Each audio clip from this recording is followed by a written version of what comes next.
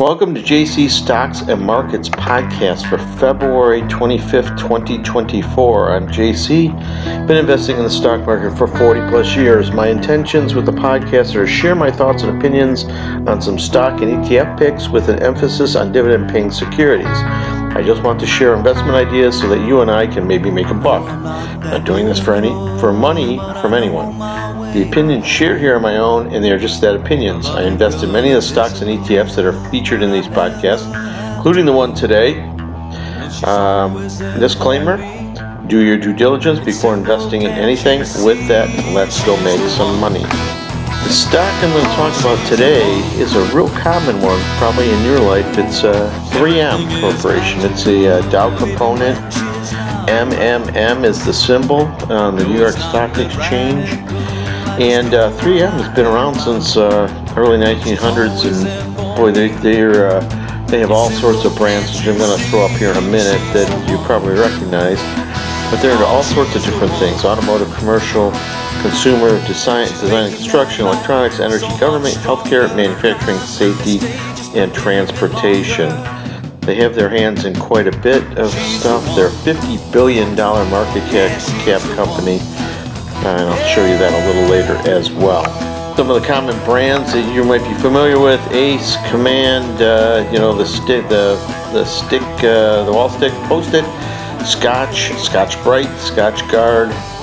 They're into all sorts of uh, consumer goods. Just wanted to show that for a second here.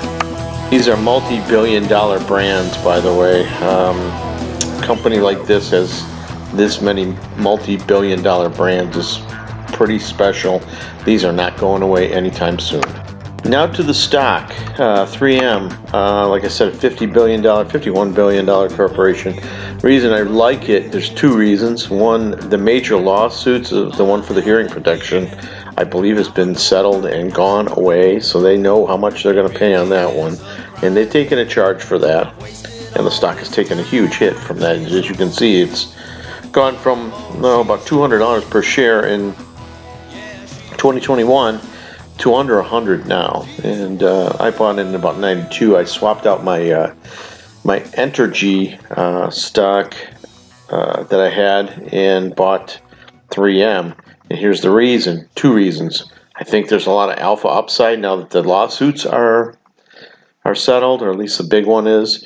And then the forward yield, six and a half percent. I mean, you're grabbing six and a half percent uh, on a stock that's you know, a Dow component, has brands that are never going away. And the increase in dividends have occurred for over 60 years. This is a, a dividend king and will probably continue to be so. I don't believe there's the dividend cut coming soon, and I'll, sh- I'll show you why later.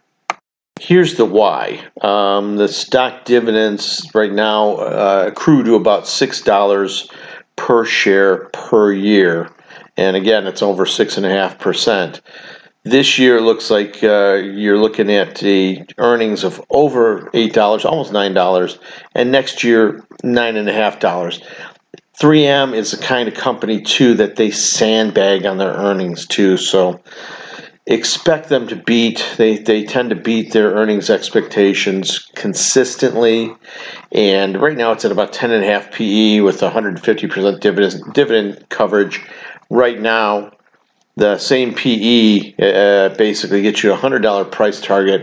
And I think for long term investors, it goes much higher than that. This company is is going nowhere, and uh, and I mean nowhere, meaning that the brands are not going to be challenged. They are solid, and they are going to be churning cash for a long time.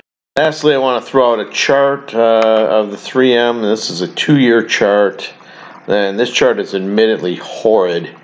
But I think with the uh, again with the lawsuits that are that are uh, closed now, looks like it's oversold. Even in this market, I think the next run up, you're going to see this thing go up to 100, maybe beyond. And I think there's a higher expectation, or from my standpoint, I think it's going to go higher for much longer. Uh, you know, they're going to be churning cash their their dividends are increasing, their earnings per share are increasing, their revenues are increasing relatively smoothly, you know, three percent a year.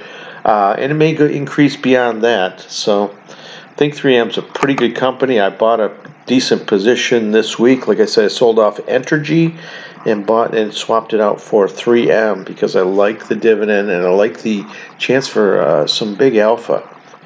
Anyway, this is just some food for thought.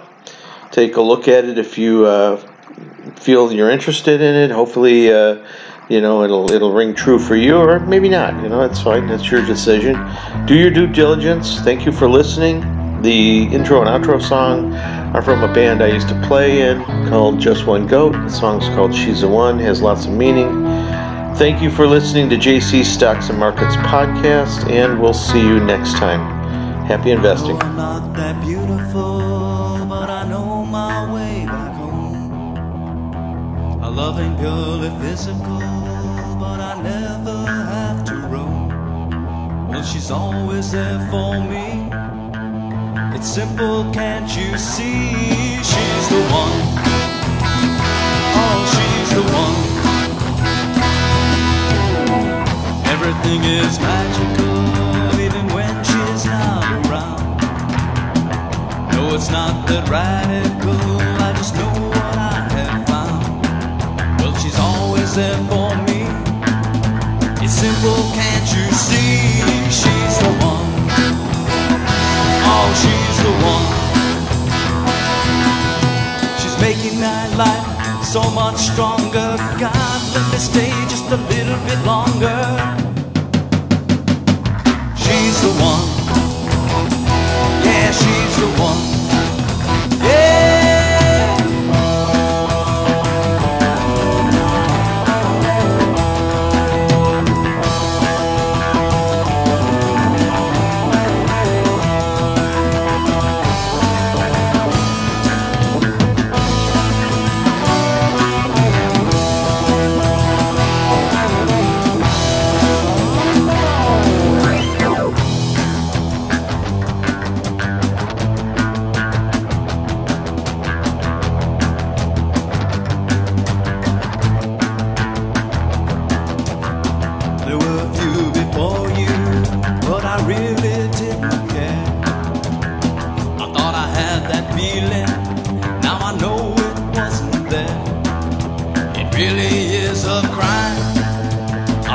I've all this time.